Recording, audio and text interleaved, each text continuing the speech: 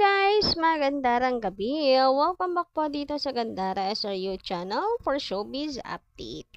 Andito na naman nga po akong muli nagbabalik ang nagmamaganda po ninyo kachismosang Kim Pao upang maghatid sa inyo ng latest update and fresh happenings patungkol kay Kim Chu and Paul Ovilino. And para nga sa gabi ito pag-uusapan natin ay tungkol po dito sa ano uh, blind item na nakita natin sa social media na kung saan eh, marami pong mga Kim Pao uh, fans ang nababasa kong uh, comments or madami pong Kim Pao fans comments ang nandoon. So, tatalakayin po natin yan. Ganun din ang tungkol po dito alam kong ikatutuwa nyo guys ang uh, ginawa pong pagmamalaki, pagyayabang ni Paulo Avellino ngayon sa social media. Grabehan, ang dami ko nababasang comments po ng mga fans. Palibasa kasi itong si Papi Paulo ay meron ng dawan kaya ganyan siya ang hard sa mga fans. But before that, sa mga hindi pa po nakaka-subscribe dito sa aking channel, maaari lamang na pindutin po ninyo ang subscribe button at notification bell para mag-updated po kayo at ma-notify tuwing may bago tayong balita sa kanilang dalawa. Basta mga chika na may ginalaman po kay Kim and Paulo Avellino, sagot na po natin yan. So, unahin natin pag-usapan guys, ito po nakita nating blind item na kung saan eh, nagko-comment po yung mga Kim Pao fans. So, ito yun guys. So, mukhang girl ang tinutukoy po rito. Basahin nga natin. Kaya pala hindi nakikita si actress o babae nga guys confirm sa Sunday noontime show ay uh, dahil ito sa attitude niya na kung saan ay sinisiraan niya umano ang mga kasamahan niya na artista. Ito rin ay nagrereklamo sa kanyang talent fee na 50k kumpara sa mga big star na 350k, 1M per hour. Oh, uh, medyo maliit yung kanyang ano, talent fee for uh, 50k sa isang oras, ganun, per hour. Uh, maliit siya para sa mga artista. Siyempre sa ating mga ordinaryong tao, malaki na yan. Pero, ano, malaki kasi talaga kapag big star ka. So, kung 50k lang yun sa'yo, baka kasi mas sikat yung iba kaysa sa'yo, kaya ganun. And depende rin kasi yan talaga sa talent fee ng isang artista. Kapag ka mas maraming award, ang alam ko, mas malaki po ang talent fee. Ngunit, sinitch ite, bakit taga-kokomentan po doon ng ilang Kim Pao fan? So, may nag-assume na si Jay daw po ito. Si Jay. Pero blind item nga guys. So, uh, hindi natin talaga alam kung sino uh, unless ito po ay maibalita na. Kadalasan naman pag uh, blind item, lumalabas dun kung sino yan eh. And may nabasa pa ako guys na sinasabing karibal daw ito ni ano ni Kim Chu. Karibal.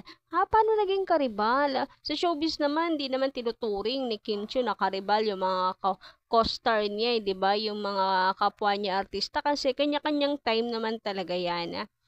Wala siyang tinitingnan at tinuturing na kakompetensya sa showbiz. Kung sa pag-ibig naman, wala naman ako nababalitaan din na may ibang girl, itong si Paulo, bukod po kay Kim Chu, haler. Wala naman pong ibang babae sa buhay ni Paulo. So, paanong karibal? Kung si Jay naman, ay hindi naman daw po naging sila. And uh, clear naman, kung meron man nga, eh, di past na yun, wala na as in ngayon, paano magiging karibal? And dahil merong nga mga nagsasabi taga-assume na si Jay ito, so eto po mensahe ng ibang Kim Pao fan. Mga solid Kim Pao, huwag po tayo mag-assume na si Jay yan. Kung siya po man yan, quiet na lamang po tayo and let's just pray na sana baguhin niya ang attitude niya at isipin kung papaano niya may improve ang personality niya. Basta, basta wag na po tayo mag-comment ng nakakasakit. Alam ko, Malaki ang, malaki ang inggit nito kay Chinita, pero lahat ng kilos, galaw, pati pananamit ginagaya niya, kaya nasa isip niya na kung uh, gagawin niya ito ay maraming hahanga sa kanya. Ay, ba't ganun? Parang uh, kinain lang din yung sinabi niya. Andun pa din, meron pa rin nasabing masakit kay Jay. Anyway, ayun nga, kung sakali man daw na tingin niyo si Jay ito, quiet na lang, pag-pray na lang na magbago na. Yung mga pinagagawa niya, nakaingit na ano, kinaingitan niya kay Kim itigil na. Sabi pa dito, huwag po tayo mag-assume ng uh, ibang artist. Wait po tayo kung sino siya. Basta tayo Kim Pao, solid para silang uh, para wala silang masabi sa atin ng mga Kim Pao fans. Spread kindness and positivity.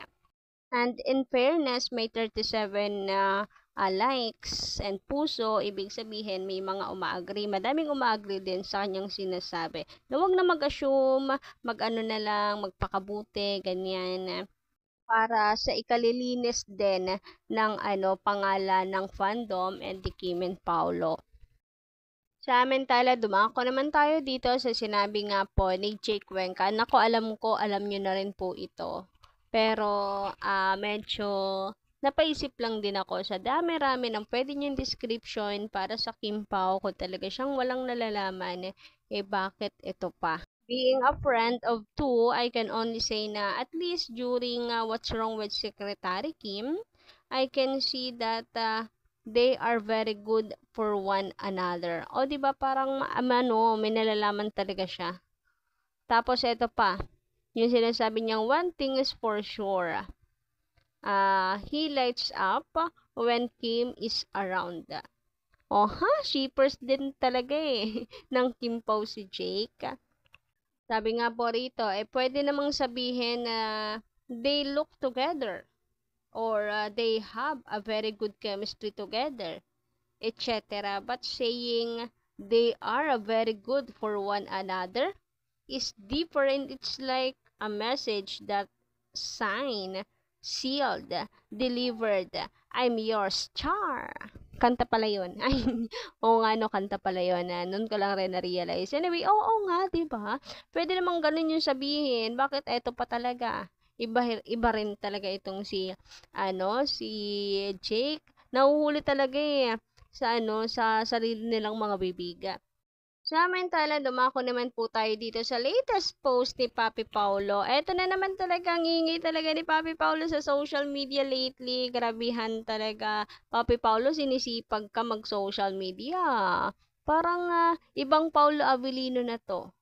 Pa ibang uh, Paulo Avellino era na ito. Social media and showy era na ito. Charata. Pero sabi nga niya dito, 48 days na lang uh, 48 days to go, Pasko na. Pero may pahabol. Pero single ka pa rin hanggang ngayon. Oh, hindi niya in-include ang sarili niya sa mga single guys. So, meaning, taken na si Papi Paulo and ipinagyaya pa. Grabe. Sabi nga ng mga commenters ng mga Kim Pao fans, grabe, yabang ni Paulo ah. Yabang ha, porque meron ng uh, napakagandang jowa, ganyan ka naka-harsh sa yung mga fans. Grabihan din talaga. Pero 'di ba, totoo naman hindi niya in-include yung sarili niya sa mga single. So baka ito yung ano talaga, pinaparating niya sa atin guys na hindi na siya single, kundi taken na siya. Yun talaga yung message na isinig, gumawa lang talaga siya ng paraan para sabihin ito nang hindi ganun kahalata. Ganon. Pero matatalino mga Kim Pao fans na ko, Paula Benino. Hindi ka makakalusot. Alam na alam namin yan. So, uh, nakakatawa. Pinagyayabang niya si uh, Kim Chu. Napakaganda baga naman nga kasi na kanyang jowa. Anak kanyang Diyosawa. So, bakit kailangan niyang idinaya? So, yan lang guys ang ating update sa gabi ito. Maraming salamat sa inyong pakikinig and don't forget to click the subscribe button and notification bell for more updates.